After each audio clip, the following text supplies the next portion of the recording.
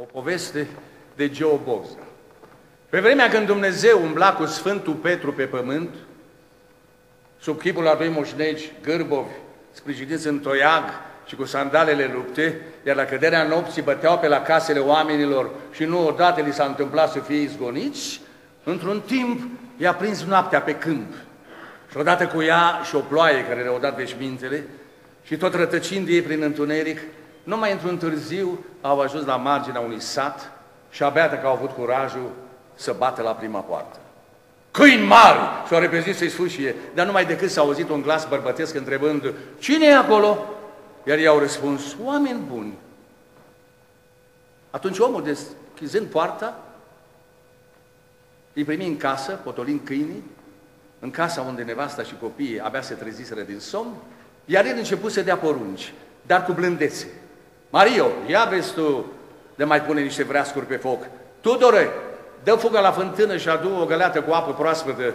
Ileană, ia vezi tu de niște lapte cald.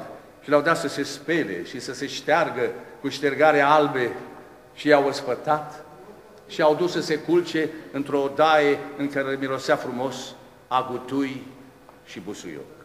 A doua zi dimineață i-au dat să se spele, i-au ospătat și le-au pus și în desagă niște mere, cum Dumnezeu și Sfântul Petru nu mai văzuseră. Și le-a zis Domn bun. Nici n-au ieșit de bine din sat, că numai decât Sfântul Petru început să se roage de Dumnezeu. Doamne, fă ceva pentru oamenii ăștia, că tare ne-au primit frumos. Oi ce să fac Sfântul Petru? Că doar ai văzut că nu sunt nevoiași. Doamne, fă ceva, fă ceva. Uite, făi, făi să-și poată vedea măcar o dată sufletul. Își vadă sufletul? Spui Sfinte Petre.